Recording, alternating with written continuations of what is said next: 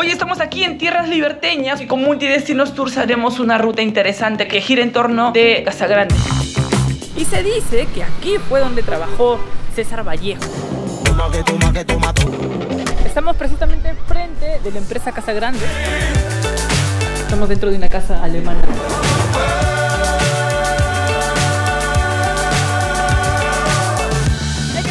Buenas noches a todos, ¿cómo están? Espero que todo bien por allá. Bienvenidos a una aventura más con Lugareando. Hoy estamos con Turismo Díaz, la agencia que se incorpora a la familia Lugareando. Muchísimas gracias. Hoy vamos a Tierras Liberteñas, a Trujillo, específicamente a Casagrande. Así que sin más floro, acompáñenos junto a Turismo Díaz.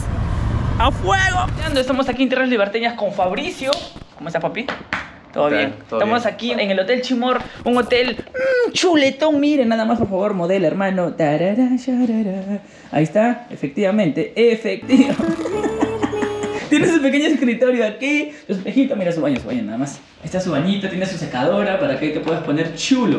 ¡Chulo! Su duchita. Está muy bonito. Es un hotel tres estrellas que está solo a una cuadra de la Plaza de Armas, al lado del Hospital de Belén. Mira, quiero que vean. Ahí está.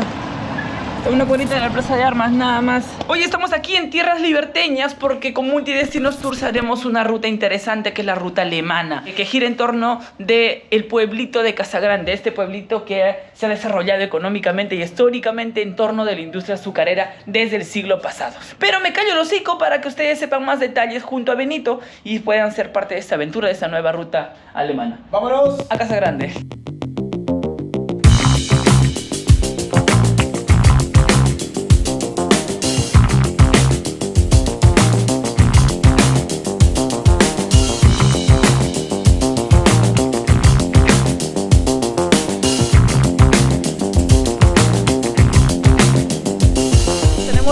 Anfitrión, a Benito nuevamente, Benito Jauli. ¿Cómo estás, hermano? Muy bien, muy bien, muy bien. Eh, Listo ya para irnos a Casagrande. Vamos a ir a Roma, ¿Ok? Fácala, Casagrande y Farías. Es una parte esencial de la ruta de, la- de los alemanes. Eh, va a haber cerveza también. Es el plato principal. Ah, el desayuno alemán. Entonces ya nada, sin más floro, chicos. La ruta de los alemanes con multidestinos tours. Vamos a repartir chocolate allá.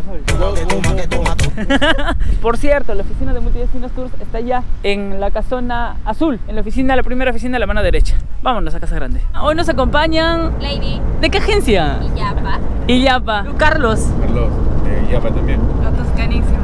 Buenísimo. ¿Y atrás? Invitada especial. Invitada especial. Estamos próximos a llegar a Roma, una población que fue inicialmente española, pero por capricho de un italiano que llegó a poblar esta, esta, esta zona y implementó uno de los primeros trapiches y luego empresas azucareras, Ajá. luego le denominó Roma, en honor a su tierra natal. Vamos a Roma.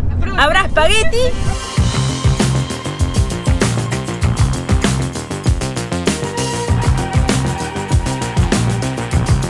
Recorrido, acabamos de llegar a la plaza de Roma. Danari fano danari, danaro fano danari. Ya aprendimos italiano. Benito, lo que estoy viendo ahorita es una arquitectura hermosísima. Esta arquitectura eh, nos remontamos a la época de los italianos, en 1890, 1890, finales del siglo el XIX. principio del 20, de los alemanes. Los alemanes. ¡Ay! ¡Qué curioso! Miren, he venido hasta Roma para que un lorito me silbe.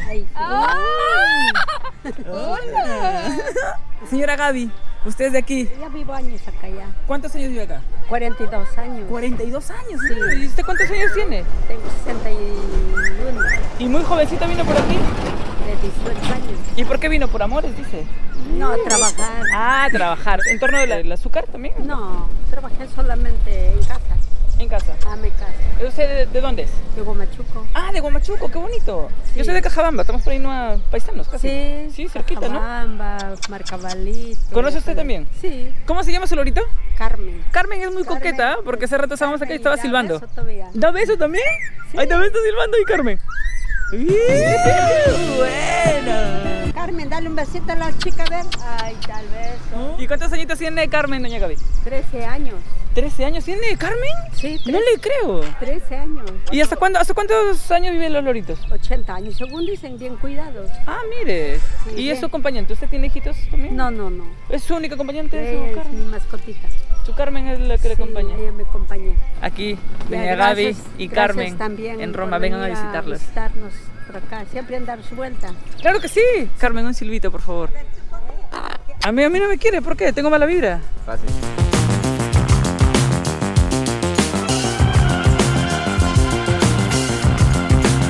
Estamos aquí en el centro poblado de Roma, que anteriormente era Tulape para la época prehispánica de la cultura mochica y chimú. Luego viene la familia Larco, Andrés Larco es el que cambia de Tulape a Roma. Luego viene Víctor Larco y luego los Gildemeister. En ese club de boxeo amateur gira en torno ya de los Larco que comienzan a fomentar aquí el deporte, la sociedad de tiro, que gira también en torno de cuando nos quedamos picados en la guerra del Pacífico para preparar a la población para vengarse de los chilenos. Acá también hay un mural donde está toda la historia. Esa era la, la hacienda, ya vamos a verlo en un momento. Ellos eran los trabajadores, lo único que ellos tenían aquí era su paga, la alimentación pero que no les permitían salir más allá, ¿no? Está Joaquín Díaz Ahumado y Artemio Zavala, los principales promotores del sindicalismo aquí en La Libertad, propician de que los trabajadores tengan mayores derechos. Acá hay más manifestaciones culturales, como pueden ver en torno ya del folclore, de las danzas. Y hay una función bien interesante, como ustedes pueden ver, aquí los diablos son muy similares a los que tenemos en, en Cajabamba, en Ichocán y San Marcos. Había mucha gente, trabajadores que venían desde esta parte norteña de la sierra a trabajar aquí. Luego viene Juan Velasco Alvarado para el 69 con la reforma agraria. Acá vemos un capataz también, nuevamente el tema del sembrío de la caña. Andrés Larco, que es el primero que propicia esto de la industria azucarera a mitad del siglo XIX, o sea, para más o menos 1860. Ya luego lo compra Víctor Larco Herrera para 1910 y contrata a César Vallejo para que haga las cuentas para 1912. Dice que trabajó alrededor de unos 7 meses por aquí el poeta universal. Acá tenemos un cortador de caña. Este es un resorte arqueológico que está allá arriba en la cima, que es los compadres. ¿no? Y acá también está Tulape, que como eran antes de manera prehispánica, antes de la hacienda. Y acá también tenemos las líneas ferroviarias de la industria azucarera. Me parece alucinante un pueblito tan pequeño puede cobijar tanta, tanta cultura. Y un dato curioso también, no sé si lo mencioné, Imazumac nunca cantó en Trujillo, pero sí cantó en Chiclín, que es donde estaban lo- los larcos, porque su poder adquisitivo era bravo, era muy bravo. Todo el Valle de Chicame en general tiene muchos artistas. De aquí salió Edwin Alcántara, el cantante de los caribeños, el romano de oro. Una de las voces más prodigiosas nació en Roma. Los, los Tumis de Cartavio, que están en esta zona del valle, Ajá. y de Chiquitoy, que también es una hacienda que está en el Valle Bajo, sale eh, un cantante del grupo 5, Angelo Fukui. Hay otro dato también bien, bien interesante acerca de Andrés Larco, que quería casarse Con su- un familiar. Un familiar. Algunos dicen la sobrina, otros dicen la hermana, no hay una versión exacta. Andrés Larco, para acceder a ese matrimonio, tenía que tener un permiso de- Papa. especial del Papa. Lamentablemente no consigue la autorización del Papa. En la Roma de Italia manda el Papa, aquí Mando en mi yo. Roma mando yo. Casó. Entonces se casó y encima cambió el nombre de Tulape, lo pasó a Roma. Vaya Andrés, ¿eh? Vaya dato incestuoso.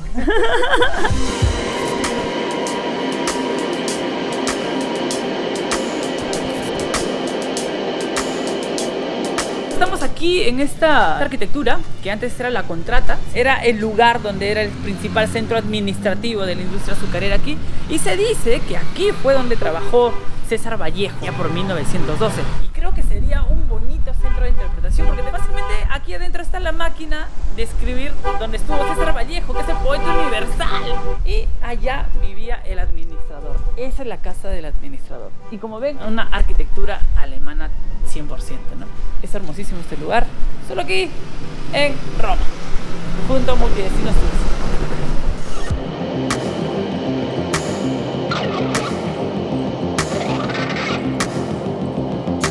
Toma que toma que toma tú.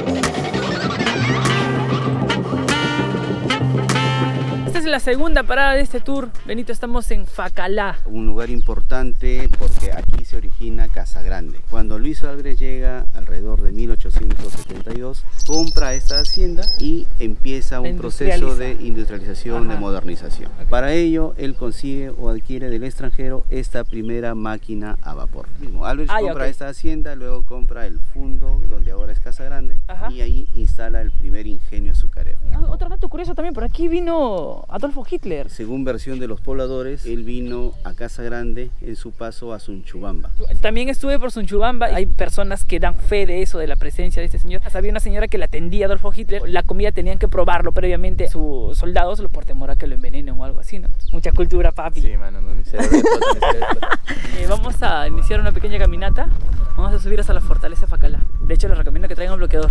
Estamos trepando ahí. Toma Lo que me estoy dando cuenta desde que iniciamos esta pequeña caminata, hay mucha fragmentería de cerámica. ¡Wow! Mira, qué locazo. Miren, todo eso acá es resto arqueológico. Está clarísimo, ¿no? Estos son adobes, ¿no? En forma de adobes todo. Todo lo de acá. Y tenemos que cuidar nuestros restos arqueológicos, porque si destruimos nuestro pasado, estamos destruyendo nuestro futuro. Era un lugar de vigilancia. Se domina todo el valle. Para esa final le construyeron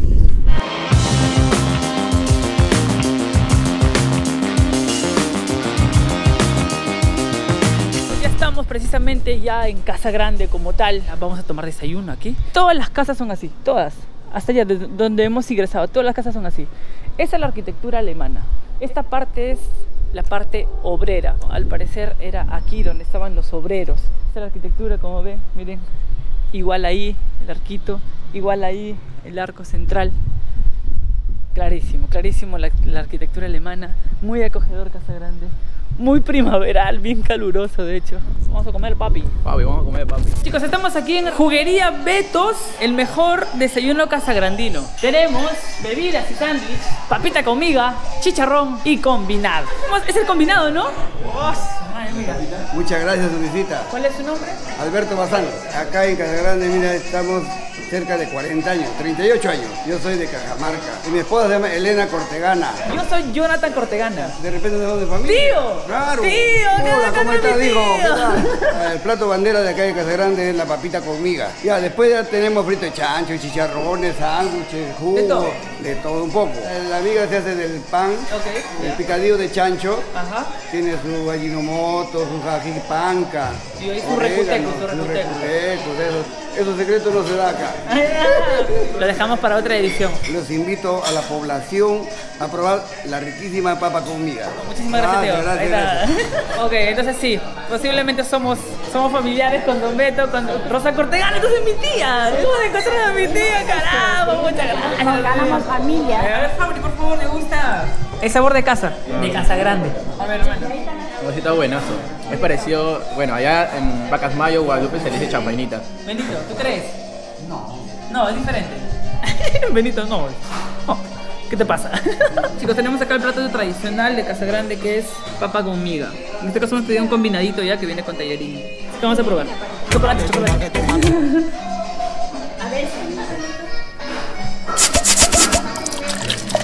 Qué rico. Qué muy rico. Eso con su ajicito, su chicha morada.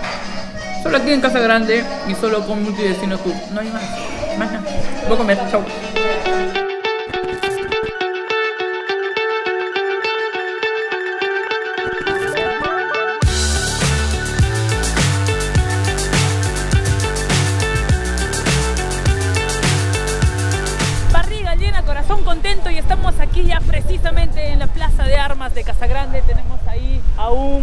Cultivador de caña, tenemos allá su iglesia, tiene hasta un cine, Cine Casagrande. Tiene una gran historia, le decía de que los alemanes llegan y se instalan en Fácala, adquieren aquí el fundo La Concepción, aquí donde instalan el primer ingenio azucarero del Perú. Y tiene unos, unos componentes muy particulares. Por ejemplo, aquí se instala un reloj que ahora es ícono de Casa Grande, un reloj de estilo alemán, ¿Sigue funcionando? claro. ¡Maña! Ya, ¡Qué sigue chévere! funcionando. Aquí alrededor de la plaza tenemos, por ejemplo, lo que está de color verde, ¿Ya? la antigua mercantil. Un bazar, Un bazar, donde ok. Los, los casagraninos eh, adquirían ahí sus productos traídos de Alemania, importados de Alemania. Ah.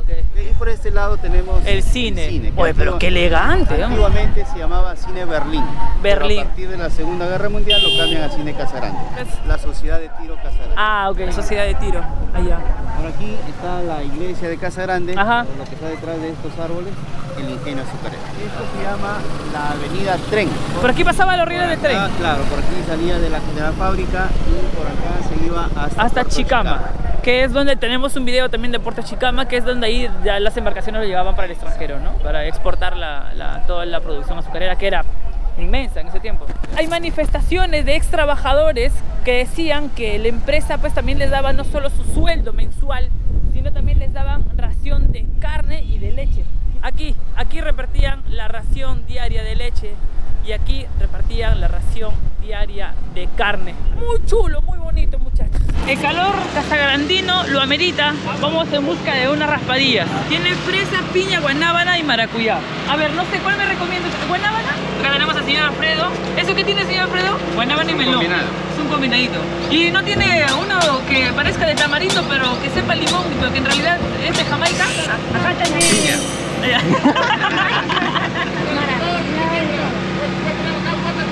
Porque se ve cerebro, Rico, hermano. Acá está la frutita también. Esto todo es natural. Ahí está, ve, la tía Vichy. La tía Vichy. Su- en su salsa, doña Vichy. Claro, ¿Eh? pues acá para nacer. de chocolate. Listo. La próstata, la guanábana, está Ah, pero la próstata es. Ajá. ¿Está fe? Sí, ¿Es cierto, cierto. Ah, ya sí es cierto eso. Pero la guanábana es a partir de 40 años para arriba. Ah, ya, ya. la juventud todavía, no están con los próstatas. Uy, eso está más pero. Repartiendo chocolate. Uy, a dos solcitos, ¿ah? Uy, no, está baratísimo. La tía Vichy. Justo aquí en la esquina de la Plaza de Armas, frente de la iglesia. Ahí está la iglesia. Acá tengo empanaditas, tengo mis quequitos para vender con su refresquito. De poco va a haber su cevichito. Ah, ya, ya. Claro. ¿Usted lo hace? Mil oficios. Y de rato trae ceviche también. Mójalo, mójalo, mójalo. Ah, la madre, qué rico. Bien rico, de verdad. Al frente de la iglesia Inmaculada Santa Teresita. Si tu pareja, tu sugar, tiene más de 40 años, tráelo y que tome este de guanábana, que bueno para la próstata, para que te siga funcionando. Y con dos soles vas a tener a tu sugar más tiempo. Refrescos, la tía Fish, aquí en Casa Grande. Estamos precisamente de la empresa Casa Grande. Este reloj, este es el original que está replicado en el boulevard que acabamos de ver hace unos minutos. Como pueden ver, aquí hay una casa. Esta era la casa de los dueños de la industria azucarera. Este muro recién ha sido construido en el 2004. Todas las actividades protocolares se hacían ahí, al frente de esta casa, ¿no? Y que también los rieles, porque iban hasta el puerto Chicama, llegaban hasta aquí, hasta la puerta del ingenio azucarero para poder transportar todas las grandes cantidades producidas de azúcar. Casagrande se convirtió en el primer productor de azúcar en el mundo. Ahora, me preguntaban por el nombre de Casa Grande. Era porque Luis Albrecht inicialmente estuvo en Estados Unidos y ahí tenía una empresa ¿Ya? llamada Casa Grande de Blancos. Cuando él llega, asocia ese nombre y solamente queda como Casa Como Casa Grande.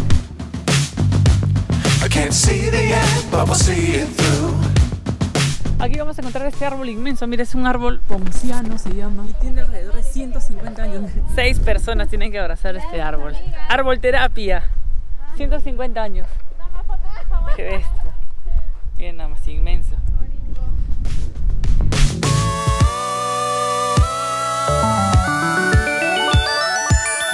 Hemos visto la arquitectura de manera general y ahora vamos a ingresar a una de las casas donde vivían los alemanes. Estamos dentro de una casa alemana, como ustedes pueden ver. Los cheleros, que cuando fue esto de la peste negra, que acechó bastante Europa, pensaban que era un mosquito el que lo propiciaba, por eso comenzaron a, a ponerle estas tapitas para evitar la presencia de los mosquitos.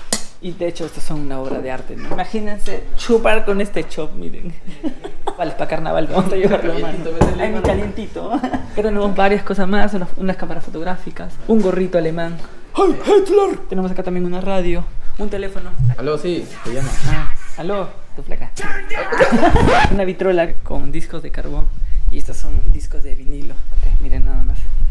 Todo esto, así vivían los alemanes anteriormente. Tenemos acá un escritorio, como ya nos mostró. Y miren nada más. ¡Oh, se!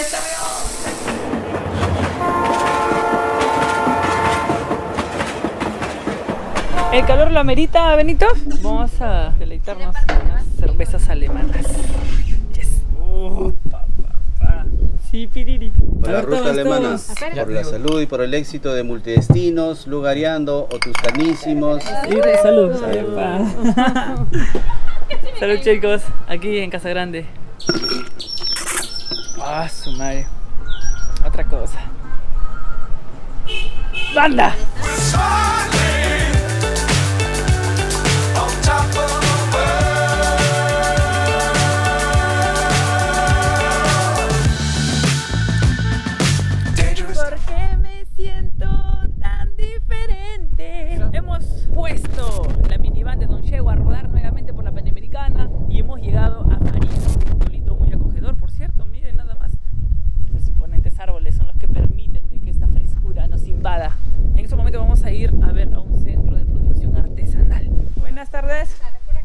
Gracias. ¿Cómo está? ¿Cómo está?